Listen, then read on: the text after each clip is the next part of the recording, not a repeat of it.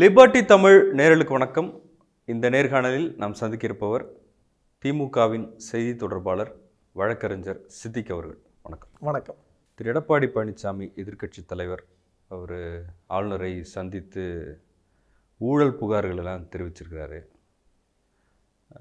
Collection commission corruption இதெல்லாம் சொல்லியிருக்காரு எப்படி பார்க்குறீங்க நானும் இந்த கட்சியில் ஒருத்தனா இருக்கிறேன். தமிழ்நாட்டில் அரசியல் கட்சிகளில் அதிமுகவும் ஒரு கட்சியாக இருக்குது அது வந்து என்கிட்ட தான் இருக்குன்னு காமிச்சிக்கிறதுக்காக தான் எடப்பாடி அவர்கள் இந்த மாதிரியான விஷயத்தை முன்னெடுக்கிறாரு. இடைக்கால பழனிசாமி நம்ம பார்க்க வேண்டியதாக இருக்குது ஏன் இடைக்கால பழனிசாமி அப்படின்னு நம்ம சொல்கிறோம் அப்படின்னா அவங்களுக்குள்ளேயே நேற்று சண்டை நடக்குது.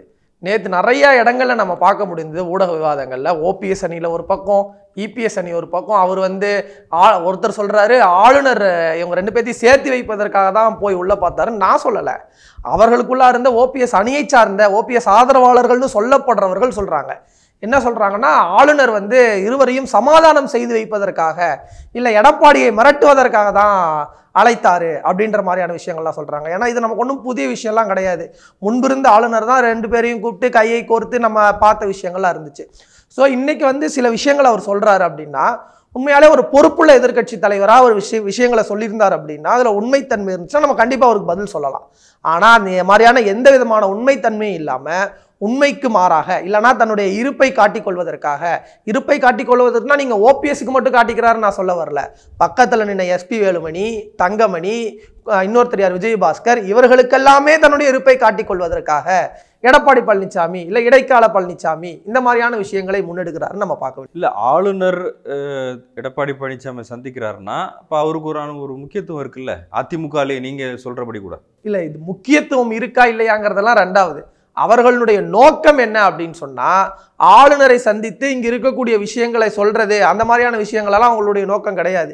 ஏன் அப்படி இருக்கு? நீங்களும் அஹ், எதிர்க்கட்சியா இருக்கும்போது போய் கொடுத்தீங்கல்ல அப்போ இதுக்கெல்லாம் அதுக்கெல்லாம் அர்த்தம் கற்பிக்க முடியுமா? அதுதான் நான் சொல்றேன். நாங்கள் எதிர்க்கட்சியாக இருக்கும்போது ஆளுநரை பார்த்து கொடுத்த விஷயங்களுக்கு நீதிமன்றத்துல வழக்கு போட்டோம். என்னென்ன ஊழல் குற்றச்சாட்டுகளை முன்வைத்தோமோ அதன் அடிப்படையில் நீதிமன்றத்தில் வழக்கு போட்டோம். நீங்களும் என்ன பண்ணணும் அப்படின்னு சொன்னால் ஆளுநரை சந்தித்திருக்கிறீர்கள். அந்த அடிப்படையில் நீதிமன்றத்தில் வழக்கு போடணும். இல்லை அப்படின்னு சொன்னால் ஆளுநரை திமுக சந்தித்தது வந்து ஊழல் குற்றச்சாட்டுகள்ன்ற ஒரு சாப்டருக்குள்ளே போய் என்னென்ன ஊழல் குற்றச்சாட்டுகள் நடந்திருக்குன்னு சொல்லிட்டு வந்தோம். இப்போ இவர் என்ன பண்ணியிருக்காரு அப்படின்னு பார்த்தா நான்கு மாதங்களுக்கு முன்பு நடந்த ஒரு சம்பவம். மூன்று மாதங்களுக்கு முன்பு நடந்த சம்பவம். ஒரு மாதத்திற்கு முன்பு நடந்த ஒரு சம்பவம். அதுவும் நடந்திருக்க கூடாது இல்ல அதுவும் சட்ட ஒழுங்கு சம்பந்தப்பட்டது இல்ல அதாவது அந்த சம்பந்தங்களை எல்லாம் சொல்றாரு. அது சட்டம் ஒழுங்கா இல்லையாங்கிறதெல்லாம் ரெண்டாவது பிரச்சனை. இவர் பேசணும்னு அடையாளப்படுத்த விரும்புற சம்பவங்களை இன்னைக்கு தான் போய் சொல்றாரு. நாம் என்ன கேட்குறோம் அப்படின்னா அது தனி. அவர் சொன்னதில் இருக்கக்கூடிய உண்மைத்தன்மை விவாதிக்கிறதுங்கிறது தனி. அதெல்லாம் பிரச்சனையாக இல்லையாங்கிறத தனி. ஒருவேளை உங்கள் பார்வைக்கு பிரச்சனையாகவே இருந்திருந்தா கூட அதை அப்பப்போவே நீங்கள் சொல்லியிருக்கலாம் கருத்து தெரிவிச்சிருக்கலாங்கிறது. இப்போ ஏன் நீங்கள் கருத்து தெரிவிக்கிறீங்க அப்படின்னு சொன்னால் ஆளுநர் டெல்லி போயிட்டு வராரு போயிட்டு வந்ததும் ஆளுநரை போய் இவர் சந்திக்கிறார். இப்போ ஆளுநரை போய் இவர் சந்திப்பதற்கு சில காரணங்கள் தேவைப்படுது. வெளியே வந்து பத்திரிகையாளர்களை சந்திப்பதற்கு. அதுக்கு இதையெல்லாம் தொகுத்துட்டு போய் சொல்கிறாரு இன்னைக்கு பார்த்தீங்களா நம்மளே அதை பற்றி பேசுகிறோம் இந்த மாதிரி ஊடகங்களை திசை திருப்பதற்கு ஏன்னா இன்னைக்கு பிஜேபிக்குள்ளேயே பல சச்சரவுகள் நடந்துட்டுருக்கு. பல சிக்கல்கள் நடந்துட்டுருக்கு. அதை பற்றி இன்றைக்கு பேசுபொருளாக வந்துடக்கூடாது. இன்னைக்கு அதிமுகலேயே பல சச்சரவுகள் நடக்குது. பல சிக்கல்கள் இருக்குது இதையெல்லாம் மூடி மறைப்பதற்கு இது மாதிரியான விஷயங்கள் அவருக்கு தேவைப்படுது. நீங்கள் சொன்னீங்க அதில் உண்மைத்தன்மை இருக்கா அப்படின்னு. முந்நூறுரூபாய்க்கு அடிக்க வேண்டிய பேனரை எட்டாயிரம் ரூபாய்க்கு அடிச்சிருக்காங்க அப்படின்றது உண்மை இல்லையா அது? இல்லை உண்மைன்னா அது எப்படி நீங்கள் தானே ப்ரூவ் பண்ணணும்? ஒரு கேள்வி எழுப்புறீங்க. நம்ம என்ன கேட்குறோம்னா அந்த இருபது நிமிஷம் பேட்டி கொடுத்தாரு. அந்த இருபது நிமிஷம் பேட்டியில் இந்த இந்த பேனர் இவங்க அடிச்சாங்க அவங்க எந்த நிறுவனம் அடிச்சுது? எப்படி இது டெண்டர் கொடுக்கப்பட்டிருக்கு? டெண்டரில் என்ன மாதிரியான விதிமுறைகள் பின்பற்றப்பட்டிருக்கு? இதெல்லாம் சரியாக தான் நடத்தப்பட்டிருக்கா? என்ன கொட்டேஷன் வாங்கப்பட்டிருக்குங்கிறத அவர் சொல்லியிருக்கணும். எந்த நிறுவனம் செஞ்சிருக்குன்னு சொல்லணும். இல்லை போகிற போக்கில் நான் சொல்லுவேன்னா அதை நம்ம ஏற்றுக்க முடியாது. போய் நீதிமன்றத்தில் வழக்கு போடுங்க. பிரைமா ஃபேசியாவோட போய் நீதிமன்றத்தில் வழக்கு போடுங்க. வழக்கு நிக்கட்டும். வழக்க திமுக எதிர்கொள்ள போகுது. இப்போ நம்ம என்ன சொல்றோம்னா இதுல ஊழல் நடக்கல நம்ம சொல்றோம். நடந்திருக்குன்னா நீங்க தான் போய் நிரூபிக்கணும். ஒரு ஆளுங்கட்சின்றது மக்களுக்கான எல்லா விஷயங்களையும் செய்ய வேண்டியது. அது முழுமையா திமுக செஞ்சிருச்சுன்னு நினைக்கிறீங்களா? இல்ல அது குறித்து கேள்வி எழுப்புறவங்கள வந்து நீங்க அரசியல் ரீதியா ஒரு சாயம் பூசினா எப்படி அது? இல்ல அரசியல் ரீதியா சாயம் பூசுறது அப்படிங்கிறது வேற. நீங்க அந்த விஷயத்தை திமுக எப்போதுமே செய்யாது. பொறுப்புள்ள தமிழ்நாட்டின் முதல்வராக தலைவர் தளபதி ஆட்சிக்கு வந்தபோது ஒரு விஷயத்த சொன்னார்.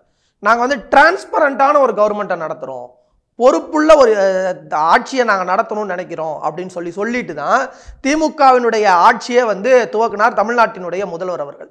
இப்போ ஆட்சியில் இருக்கக்கூடிய சில இடங்களில் ஒரு ஒரு சில பிரச்சனைகளை சுட்டி காட்டுகிறார்கள் அப்படின்னு சொன்னால் அதை திமுக சரி செய்யும். ஆனால் அதற்கு வழியே கொடுக்காம பிளானிங்கோட தான் திமுகவினுடைய ஆட்சி நடந்துட்டு இருக்கு.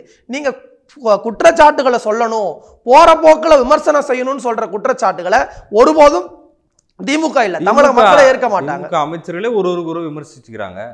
அதுதான் நான் சொல்றேன். இங்க இப்ப அதுல எங்க டிரான்ஸ்பரன்சி இருக்கு? அது இதுதான் டிரான்ஸ்பரன்சி இதுதான் டிரான்ஸ்பரன்சி இங்கே இருக்கக்கூடிய விஷயங்களை பொது வழியில் பேசுகிற உரிமை திமுகவில் இருக்கக்கூடியவர்களுக்கே இருக்குது இங்கே என்ன விஷயங்கள் நடந்துட்டு இருக்குங்கிற மக்கள் தெரிஞ்சுக்க முடியும் அப்படின்னு சொல்கிறது தான் டிரான்ஸ்பரண்டான கவர்மெண்ட் நான் இதை அதிமுகவை பார்த்து கேட்குறேன். இவங்க எப்படி தெரியுமா டிரான்ஸ்பரன்சி அவங்களோட ஆட்சி காலத்தில் இருந்துச்சு? நீட் மசோதா.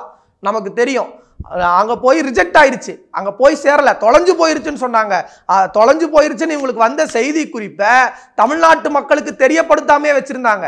அதனால் நம்ம எவ்வளோ பெரிய உயிரிழப்புகளை சந்திச்சோன் இருக்கு. இது அவர்களுடைய டிரான்ஸ்பரன்சி மோடி எங்கள் டேடின்னு சொன்னாங்க அதிமுகவினுடைய அமைச்சர்கள். இது அதிமுகவினுடைய டிரான்ஸ்பரன்சி எங்களுக்கு என்ன பிரச்சனை நடந்தாலும் மோடி பார்த்துக்குவாருன்னு சொன்னாங்க.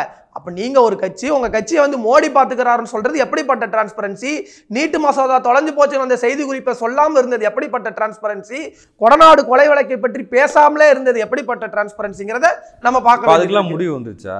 அதுக்கெல்லாம் நீட் மசோதா என்னாச்சு? தொடர்ந்து நீட் மசோதா என்னாச்சு? இதுக்கு தான் நம்ம என்ன சொல்றோம் அப்படின்னா இங்க இருக்கக்கூடிய ஆளுநர் இங்க நீட் மசோதாவை சார்ந்து அவர் அனுப்பிட்டார்ல? அவர் அனுப்பிட்டாரு. அதுக்கு காலதாமதம் ஏற்படுத்தியதற்கான காரணங்களை நான் சொல்றேன். திமுக ஆட்சிக்கு வந்ததுமே நீட்டுக்கு விலக்கு கோரி மசோதாவை ஆளுநருக்கு அனுப்புறம். திருப்பி அனுப்புறாரு. மீண்டும் உடனடியாக இடைக்காலமாக ஒரு சட்டமன்றத்தை கூட்டி சிறப்பு சட்டமன்றத்தில் தீர்மானத்தை ஆளுநருக்கு அனுப்புறோம். மீண்டும் ஆளுநர் அனுப்பி வைத்திருக்கிறார். இப்போ இப்போ இந்த இடத்துல நம்ம ஒரு முக்கியமான பிரச்சனையை பார்க்க வேண்டியது இருக்கு. கல்வியை மாநில பட்டியலுக்கு மாற்றுங்கிற கோரிக்கையை திமுக இப்போ தொடர்ந்து முன்னெடுக்க ஆரம்பிச்சிருக்கு. அது பிரதமர் தமிழ்நாட்டுக்கு வரதா இருந்தாலும் சரி அமித்ஷா அவர்கள் தமிழ்நாட்டுக்கு வருவதாக இருந்தாலும் சரி இப்படி நாடாளுமன்றத்தில் இன்னும் சொல்லணும்னா தமிழ்நாட்டினுடைய மரியாதைக்குரிய எழிலன் அவர்கள் நீதிமன்றத்தில் வழக்கு போட்டார். கல்வியை மாநில ஸோ இதுக்கான மைய புள்ளியை நோக்கி திமுக போயிட்டு இருக்கு மாநில உரிமை சார்ந்து இப்ப நீட் விலக்கு அப்படிங்கிறது வந்து கல்வியை மாநில பட்டியலுக்கு மாற்றுகிற போது அதற்கான நிரந்தர தீர்வை நம்ம பெற முடியும். உடனடி தீர்வு நீட் விலக்குன்றது தானே? அது அதுக்கு தான் சொல்றேன். உடனடி தீர்வுக்கான நோக்கங்கள் தான் நம்ம நீட்டை எதிர்த்து மசோதா போட்டிருக்கிறோம். நீட் எதிர்ப்புக்கான மசோதா போட்டாங்க. அதிமுக போட்டாங்க. அதற்கான துரிதமான நடவடிக்கை அதிமுக இல்ல தீர்வை நோக்கி கேக்குறேன். இல்ல அதிமுக போடல நம்ம எந்த இடத்துலயுமே சொல்லல. அதிமுக மசோதா போட்டாங்க. நம்ம மறுக்கவே இல்லை. ஆனால் அதற்கான அழுத்தங்கள் என்ன கொடுத்தாங்கங்கிறது தான் இங்கே கேள்வி. அதிமுக மசோதா போட்டாங்கன்னு சொன்னீங்க. நீ- வந்து அண்ணன் திருச்சி சிவா அவர்கள் பேசுகிறாரு பாராளுமன்றத்தில் தனிநபர் மசோதாவை கொண்டு நாடாளுமன்றத்தில் நிறைவேற்றியவர். அவர் பேசும்போது சொல்கிறாரு தனிநபர் மசோதாவை நான் கொண்டு வரேன். மாநிலங்களவையில் மா- கொண்டு வரும்போது அதிமுகவினுடைய உறுப்பினர்கள் வெளிநடப்பு செஞ்சுட்டாங்க. நடந்துச்சா இல்லையா? நீங்கள் உண்மையாக நீட்டுக்கு போராடுறவங்களா இருந்தா ஏங்க வெளிநடப்பு செஞ்சுட்டு போறீங்க? நின்ன இந்த குறைந்தபட்ச வாக்குகளாவது அதாவது சொற்பளவில் தான் அந்த மசோதா தோத்து போச்சு. திமுகவினுடைய எண்ணிக்கைகள் சொற்பளவில் இருந்தாலும் மசோதா பெற்ற வாக்கு அப்படிங்கிறது வந்து அன்னைக்கு மிகப்பெரிய அளவில் வாக்கு பெற்று சொற்பளவில் தான் தோத்து போச்சு. இதற்கு காரணம் அதிமுகவும் ஒண்ணுங்கிற பார்வை நமக்கு இருக்கு. இது இவர்கள் தொடர்ந்து கையாளக்கூடிய ஒரு விஷயம். இங்க இந்தி திணிப்புக்கு எதிராக நம்ம மசோதாவை கொண்டு வரோம் அப்படின்னு சொன்னா அன்னைக்கு வெளிநடப்பு செஞ்சிருவாங்க. நீட்டுக்கு எதிராக மசோதா கொண்டு வரோம்னு சொன்னா அன்னைக்கு வெளிநடப்பு செஞ்சிருவாங்க. ஆனா தமிழ்நாட்டுல வந்து நாங்களும் நீட்டுக்கு எதிராக இருக்கிறோம்னு பேசுவாங்க. இவர்கள் டிரான்ஸ்பரன்சியை பத்தி இவர்கள் இங்க நடக்கக்கூடிய விஷயங்களை பற்றி பேசுவதற்கு தகுதி இல்லாதவர்கள். ஆளுநரை குறித்து கேள்வி எழுப்பும்போது ஆளுநர் தவறுகளை சுட்டி காட்டுறாரு அது ஆளுநர் சரியா தான் இருக்கிறாருன்ற மாதிரியான விஷயத்தை இதுல என்ன தவறுகள் ஆளுநர் சுட்டி காட்டுறாரு தமிழ்நாட்டின் கோவை மைய சிலிண்டர் வெடிப்புல கோவை சிலிண்டர் வெடிப்புக்கும் ஆளுநருக்கும் என்ன தொடர்பு? தமிழ்நாட்டில் இருக்கக்கூடிய காவல்துறை அதை கையாளுறாங்க. பன்னிரெண்டு மணி நேரத்துல குற்றவாளிகள் பன்னிரெண்டு மணி நேரம் தாமதமா? இன்னைக்கு வந்து மங்களூர்ல வெடிச்சிருக்கே. அதுக்கு என்ன சொல்ல போறாங்க? யாருடைய ஆட்சி நடந்துட்டு இருக்கு பன்னிரெண்டு மணி நேரத்துல குற்றவாளிகள் கைது செய்யப்பட்டிருக்கிறார்கள். அவர்களுக்கு உடந்தையா இருந்தவர்கள் ஐந்து மணி நேரத்தில் கைது செய்யப்பட்டிருக்கு. உடனடியா ஊப்பா சட்டம் அவங்க மேல போடப்பட்டிருக்கு. இது தமிழ்நாட்டின் காவல்துறை துரிதமாக நடவடிக்கை செஞ்சிருக்கு ஆளுநரை நம்ம எதிர்க்கு எதிர்க்கிறோம் அப்படின்னு சொன்னா ஆளுநர் இங்க தமிழ்நாட்டினுடைய மைய பிரச்சனைகள்ல தலையிடுறாரு. தமிழ்நாடு இருமொழி கொள்கை தான் ஆதரிக்கும்னா ஆளுநர் மும்மொழி கொள்கையை ஆதரித்து பேசுகிறாரு ஆளுநர் புதிய கல்விக் கொள்கையை ஆதரித்து பேசுகிறாரு ஆளுநர் இன்னும் ஒரு படி போய் மற்ற இந்திய அரசியல் சாசனத்துக்கு எதிராக பேசுறாரு. பிரியாம்பிள் ஆஃப் கான்ஸ்டிடியூஷன் என்ன சொல்லுது? இந்தியா இஸ் அ செக்குலார் ஸ்டேட்னு சொல்லுது. ஆளுநர் என்ன சொல்றாருன்னா இந்தியா வந்து மற்ற நாடுகளைப் போல ஒரு மதத்திற்குரிய நாடு ஒரு மதத்தை சார்ந்து இயங்கக்கூடிய நாடுன்னு ஆளுநர் சொல்றாரு. இப்படி தமிழ்நாட்டினுடைய மைய பிரச்சனைகளாக இருக்கக்கூடிய தந்தை பெரியார் பேரறிஞர் அண்ணா தலைவர் கலைஞர் காலத்திலிருந்து மற்ற மாநிலங்களிலிருந்து இன்றைக்கு தமிழ்நாடு மாறுபட்டு இருக்குதுன்னு சொன்னா அதற்கு காரணம் தமிழ்நாட்டிற்கென்று இருக்கக்கூடிய கொள்கை திட்டங்கள்ல ஆளுநர் கை வைக்கும் போது ஆளுநரை நாங்கள் கண்டிக்க தான் செய்வோம். சட்டமன்றம் தான் உச்சபட்ச அதிகாரம். தமிழ்நாடை பொறுத்த வரைக்கும். அந்த சட்டமன்றத்தை ஆளுநர் அப்படி பேச முடியாதுல்ல? அப்புறம் ஏன் பதட்டப்படுறீங்க? ஆளுநர் பேச முடியாது. ஆளுநருக்கு இன்னும் சொல்லணும் அப்படின்னா திமுக எதிர்க்கட்சியாக இருந்தபோது அன்றைக்கு அதிமுக அரசு நடந்துட்டு இருந்தபோது ஆளுநர் ஆய்வுக்கு போனாரு. இன்னைக்கு இருக்கக்கூடிய எதிர்க்கட்சியை போல திமுக அன்னைக்கு இல்லை. நியமன ஆளுநருக்கு ஆய்வு செய்கிற அதிகாரம் இல்லைன்னு அன்னைக்கு த- எதிர்க்கட்சி தலைவராக இருந்த இன்றைய தமிழ்நாட்டினுடைய முதல்வர் பேசினார். நியமன ஆளுநருக்கு ஆய்வு செய்கிற அதிகாரம் இல்லை. அதே தான் நாங்கள் இன்னைக்கும் சொல்கிறோம் தமிழ்நாட்டில் இன்றைக்கு மாநில ஆ- நம்ம குடியரசுத் தலைவருக்கு அனுப்பப்பட்ட கடிதத்தில் மிக தெளிவாக சொல்லப்பட்டிருக்கு. மக்களால் தேர்ந்தெடுக்கப்பட்ட அரசாங்கம் திராவிட முன்னேற்ற கழகம். இன்றைக்கு பெருவாரியான மக்கள் தேர்ந்தெடுத்து நம்மள சட்டமன்றத்தினுடைய முதல்வராக தமிழ்நாட்டினுடைய முதல்வராக தலைவர் இருக்கிறாரு. அப்படி இருக்கும்போது தமிழ்நாட்டிற்கு தமிழ்நாடு சட்டமன்றம் நீட்டு வேண்டான்னு சொல்லுது. அதில் ஆளுநர் ஏன் கருத்து சொல்கிறாரு தமிழ்நாடு சட்டமன்றம் நீட்டு வேண்டான்னு சொல்லுது. ஆளுநர் ஏன் கருத்து சொல்கிறாரு தமிழ்நாடு சட்டமன்றம் இந்தி வேண்டான்னு சொல்லுது. தமிழ்நாடு சட்டமன்றம் புதிய கல்விக் கொள்கை வேண்டான்னு சொல்லுது. இதில் எல்லாம் ஆளுநர் ஏன் கருத்து சொல்லணும்? கருத்து சொல்ல வேண்டிய அவசியமே இல்லை. இதையெல்லாம் விடுங்க. இதெல்லாம் கூட நீங்கள் வந்து அரசியல் கருத்துக்களாக முன் வச்சா கூட ஆளுநர் கான்ஸ்டிடியூஷனுக்கு எதிராக எப்படிங்க பேச முடியும்? அப்படிப்பட்ட ஆளுநரை கண்டிப்பாக தானே சரியா இருக்க முடியும்? கண்டிக்கலைனா தான் திமுகவை பார்த்து கேள்வி கேட்கணும். நீங்க சொன்னீங்க பாஜக நிறைய சிக்கல்கள் பிரச்சனைகள் இருக்கு அப்படின்னு சொல்லி. திரு அண்ணாமலை கூட சொன்னாரு பொதுக்கூட்டம் போட்டு மைக்கிலலாம் நாங்க வந்து பெண்களை வந்து கொச்சையா பேசுறதில்ல ஒரு தனிப்பட்ட உரையாடல் அதுக்குமே கூட நான் அறிக்கை கேட்டிருக்கிறேன் அப்படின்னு. அறிக்கை கேட்பார் அவர். அறிக்கை கேட்கலாம். அதை வந்து அவர்களை கூப்பிட்டு வச்சு சாஃப்டாக ஹேண்டில் பண்ணலாம். ஏன்னா நான் சொல்லலை. அந்த அவங்க பேர் என்ன? டெய்ஸியா அவங்க சொல்கிறாங்க அதாவது சூர்யா அவர்களும் டெய்ஸி அவர்களும் பேசின ஆடியோவா அண்ணாமலைக்கு பத்து நாளைக்கு முன்னாடியே தெரியுமா? அண்ணாமலை கூப்பிட்டு சாஃப்டாக ஹேண்டில் பண்ணாராம். இருவரும் செய்தது அவருங்கிற மாதிரி ஹேண்டில் பண்ணியிருக்காரு போல். நமக்கு அது தெரியல. டெய்ஸி என்ன சொல்கிறாங்க அப்படின்னா இந்த மாதிரியான விஷயத்த எப்படிங்க இப்படி சாஃப்டாக ஹேண்டில் பண்ண முடியும்னு கேட்குறாங்க அறிக்கை கொடுன்னு கேட்குறாங்க இப்போ திமுகவில் நீங்கள் யாரையோ ஒருத்தரை குறிப்பிட்டு சொன்னீங்க. அவர் பேசுனதுக்கு வந்து அவர் மீது வழக்கு பதிவு செய்யப்பட்டிருக்கு. நீங்களும் சாஃப்டா தானே ஹேண்டில் பண்ணீங்க? வழக்கு பதிவு செய்யப்படுற சாஃப்ட் ஹேண்டிலா முதலமைச்சர் மன்னிப்பு கேட்டாரான்னு கேக்குறாங்க. முதலமைச்சர் ஏங்க இதுக்கு மன்னிப்பு கேட்கணும்? திமுகவில் இருக்கிற ஒரு ஒரு கைது பண்ணீங்களா அவரை? வழக்கு பதிவு செய்யப்பட்டிருக்கு. வழக்கினுடைய அடிப்படையில் அவர் மேல குற்றம் நிரூபிக்கப்பட்டா கை செய்ய தான் போறாங்க. தீ நான் கேட்குறேன் நீங்க இல்ல பேசுனது திருப்பி குற்றம் நிரூபிக்கப்பட்டாலும் வரும். அவர் பேசுனதா இருக்குல்ல ரெக்கார்டு? அதுதான் அவர் பேசியிருக்கிறாரு. பேசின அடிப்படையில் வழக்கு பதிவு செய்யப்பட்டிருக்கு. வழக்கு நீதிமன்றத்தினுடைய விசாரணைக்கு போகும். நீதி அரசர்கள் பார்ப்பாங்க இதுக்கு என்ன தண்டனையோ இல்லை என்ன பனிஷ்மெண்ட்டோ என்ன ஃபைனோ அவங்க கொடுக்க போறாங்க. இப்போ அதற்கான ப்ரொசீடிங்ஸ்க்குள்ள திமுக இதை எடுத்துட்டு போயிருச்சு. ஆனா பிஜேபி எப்படிப்பட்ட கட்சி நம்ம பேசணுமா இல்லையா? பில்கிஸ் பானு வழக்கு தெரியுமா இல்லையா உங்களுக்கு? அந்த பில்கிஸ் பானு வழக்கில் கைது செய்யப்பட்டவர்களை விடுதலை செய்தாங்க. சரி அதை கூட விடுங்க. நம்ம பாலியல் தொந்தரவுக்கு உள்ளாக்கப்பட்ட ஒரு பெண் வந்து அந்த சம்பவம் நடந்துட்டு இருந்துச்சு. அந்த பெண்ணைக்கு அந்த பாலியல் தொந்தரவுக்கு உள்ளாக்கப்பட்டவர்களுக்கு அந்த பாலியல் தொந்தரவு சம்பவங்களில் ஈடுபட்டவர்களுக்கு ஆதரவா பிஜேபி எம்எல்ஏக்கள் வந்து பேரணி போனாங்க தெரியுமா உங்களுக்கு? இதெல்லாம் யார் செய்தது? இவர்களுக்கெல்லாம் என்ன இதெல்லாம் விடுங்க இதெல்லாம் டெல்லி. தமிழ்நாட்டுக்கு அதான் நான் சொல்றேன். இதெல்லாம் டெல்லி இங்கெல்லாம் விடுங்க பில்கிஸ் பானு வழக்கெல்லாம் விடுங்க தமிழ்நாட்டுக்கு வருவோம். இப்போ அண்ணாமலை வந்து அன்னைக்கு என்ன பேசினாரு? நான் வந்து அது பண்ணிடுவேன் இது பண்ணிடுவேன்னாரு இன்னைக்கு என்ன சொல்கிறாரு அப்படின்னா நான் அறிக்கை கேட்டிருக்கேன்னு சொல்கிறாரு இது எப்படிப்பட்ட ஒரு விதமாக இருக்க முடியும்? இது மட்டும் இல்லை தொடர்ந்து பிஜேபியில் தமிழ்நாட்டில் இந்த மாதிரியான பெண்களுக்கு நடக்கக்கூடிய விஷயங்கள் தொடர்ந்து வெளியே வெளியே வந்துட்டே இருக்கு. அவர்கள் உட்கட்சி பிரச்சனைனா கூட பொதுத்தளத்தில் வரதுனால தான் நம்ம பேசுகிறோம் இதற்கு முன்பு முன்னாள் எம்பியா இருந்த ஒருத்தங்களுக்கு என்ன நடந்துச்சுன்றதை நம்ம பார்த்தோம். இன்னைக்கு இந்த மாதிரியான ஒரு டெய்ஸி அப்படிங்கிற சொல்லக்கூடிய ஒரு பெண்ணுக்கு நடந்திருக்கக்கூடிய விஷயத்தை நம்ம பார்க்குறோம். இதுக்கெல்லாம் அண்ணாமலை ஏன் வாய் மூடி மௌனமா இருக்கிறாரு? பேசுறாரு என்ன பேசுறாரு? நீங்க? என்ன பேசுறாரு? நான் அறிக்கை கேட்டிருக்கேன். நான் நீங்க சொல்றீங்கல்ல ப்ரூவ் ஆயிருச்சுன்னு சொல்றீங்களா வழக்கு போட்டோம்ல நாங்க. இது இப்ப ப்ரூவ் ஆகலையா இப்ப இது ப்ரூவ் ஆயிருச்சா? ஒரு நெறியாளரா? நீங்க சொல்லுங்க. ப்ரூவ் ஆயிருச்சு அப்ப. என்ன பண்ணணும் நீங்க? கட்சியை விட்டு நீக்கணும். உங்களால முடிந்த கட்சியை விட்டு நீக்கலாமா? ஏன்னா நீங்கள் வந்து இப்போ உங்ககிட்ட அதிகாரம் இல்லை வழக்கெல்லாம் போட முடியாது. இல்லைன்னா அவங்களோட கொடுத்து கம் பிஜேபி சார்பில் வழக்கு போடணும். மகளிர் ஆணையங்களுக்கு பிஜேபி சார்பில் முன்னெடுத்துட்டு போயிருந்தாருன்னா அண்ணாமலை எப்படிங்க எடுத்துகிட்டு போவார்? அவரே ஒரு ஃபோட்டோஷாப் ஃபேக்ட்ரி நடத்திட்டு இருக்காரு. அந்த ஃபோட்டோஷாப் ஃபேக்ட்ரிக்குள்ளே இதெல்லாம் வராது. இப்போ நீங்கள் பார்க்கணும் அப்படின்னு சொன்னால் அவர் கூட ஒரு மூணு பேர் எல்லா இடத்துக்கும் வருவாங்க. ஒன்று யாருன்னு கேட்டிங்கன்னா அமர் பிரசாத் ரெட்டி. ரெண்டாவது இந்த சூர்யா. மூணாவது வந்து இன்னொருத்தர் அவர் கூட வெளிநாட்டுக்கெல்லாம் போயிட்டு வந்தார்.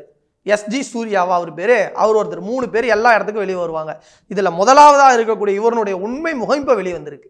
இவர்கள் எப்படிப்பட்டவர்கள் அப்படிங்கிறதுக்கான உண்மை முகம் முதல்ல இப்போ வெளியே வந்திருக்கு. அந்த ஆடியோவின் மூலமாக இப்போ வெளியே வந்துருச்சு. இப்போ நான் என்ன கேட்குறேன்னா நீங்கள் கேட்ட அதே கேள்வி தான் ப்ரூவன் ஆயிடுச்சுல ஃபேக்ட் குறைந்தபட்சமாக ஒரு தலைவராக நீங்கள் என்ன நடவடிக்கை எடுத்தீங்க? அறிக்கையை சப்மிட் பண்ணணும்னு சொல்லியிருக்கேன் என்ன அறி- அறிக்கை என்னென்ன பேசுனீங்க யார் மீது தவறு இருக்கிறது? ஆடியோவை கேட்டிங்களா இல்லையா? எல்லாருமே கேட்டோமா இல்லையா? ஆடியோல யாருங்க பேசுறா? பே- சூர்யா யார் தான் பேசுறாரு. அப்ப அவர் வந்து குற்றம் நிரூபிக்கப்பட்டுருச்சுல்ல. அவர் மீது பிஜேபி சார்பில் என்ன நடவடிக்கை எடுத்தீங்க? நீங்க வழக்கு போடுறது மகளிர் ஆணையத்துக்கு எடுத்துட்டு போடுறது அவர் மீது வந்து பெயிலபிள் நான் பெயிலபிள் செக்ஷன்ஸ்ல கேஸ் போடுறது எல்லாம் ரெண்டாவது. அவர் முக்கிய நிகழ்வுல பங்கெடுத்துக்க கூடாது. இது வந்து. தண்டனையா? எப்படி எப்படி இந்த தண்டனை நம்ம எடுத்துக்கிறது? முக்கிய நிகழ்வுகளை பங்கெடுத்துக்க கூடாது. அண்ணாமலை கூட நிகழ்ச்சிகளுக்கு போலாமா? பங்கெடுத்துக்க கூடாதுன்னா மைக்ல பேசாம இருக்கணுமா? எப்படி பங்கெடுத்துக்க கூடாதுங்கிறதுக்கான கிளாரிஃபிகேஷன் சொல்லுங்க. இப்போ நான் வந்து முக்கிய நிகழ்வுகளில் இவர் பங்கேற்கக்கூடாதுன்னு சொல்கிறேன் ஃபெலிக்ஸ் பங்கேற்கக்கூடாதுன்னு சொல்கிறேன் எப்படி? லிபர்ட்டி ஆஃபீஸ்க்குள்ளே வரலாம். பேட்டி எடுக்கக்கூடாது அப்படி தானே அதுக்கான அர்த்தம்? இதெல்லாம் ஒரு இது இந்த இதை நம்ம நகைச்சுவையாக பார்த்தா கூட பிஜேபிங்கிறது எப்படிப்பட்ட கட்சிங்கிறது நமக்கு இதிலிருந்து தெரிய வருது. அவர்களுடைய கொள்கையே அப்படித்தானே இருக்குது எந்த இடத்திலும் அவர்கள் வந்து பெண்களுக்கு சார்ந்து என்னைக்கு பேசியிருக்கிறாங்க? இடஒதுக்கீடு சார்ந்து என்னைக்கு பேசியிருக்கிறாங்க? இந்த சமூகம் முன்னேறணுங்கிறத சார்ந்து என்னைக்கு பேசியிருக்கிறாங்க? ஆர்எஸ்எஸ்னுடைய கோல்வார்க்கர்லேருந்து சாவார்க்கர்லேருந்து அவர்களுடைய தத்துவ தலைவர்களாக இருக்கக்கூடியவர்கள்லாம் என்ன கருத்தை முன்வைக்கிறாங்க? இங்கே வந்து சாதிய படிநிலை இருக்குது இங்கே வந்து வர்ணஜாதி கட்டமைப்பு இருக்குது இதை பார்த்து கேள்வி எழுப்பாதீங்கன்னு சொல்கிறாங்க அந்த வர்ணஜாதி கட்டமைப்பில் பெண்கள்ங்கிறவங்க எந்த நிலையில் இருக்கிறாங்க? அப்படிங்கிறத நம்ம பார்க்க வேண்டியது இருக்குது அதனால தான் பெண்கள் சார்ந்து எந்த பிரச்சனை வரும்போதும் just like that BJP handle பண்ணுது. அது பில்கிஸ் பானு வழக்காக இருக்கலாம் இல்லை பாலியல் குற்றவாளிகளுக்கு ஆதரவாக பேரணி போனதாக இருக்கலாம் இல்லை இந்த மாதிரியான குற்றங்கள் வந்தாலும் கூட நாங்கள் வந்து அறிக்கை கேட்டிருக்கிறோம். இல்லை நாங்கள் வந்து இதை குறித்து ஒரு ஒரு யாரோ ஒருத்தர் அனுப்பிச்சிருக்கிறோம். அவர் உட்காந்து கேட்க போகிறாருன்னு சொல்லி தட்டி கழிப்பதாக இருக்கலாம். இதெல்லாம் வந்து அவர்களுடைய தத்துவ தலைமைகள் கிட்டேருந்து வரக்கூடிய விஷயம். நன்றி. நன்றி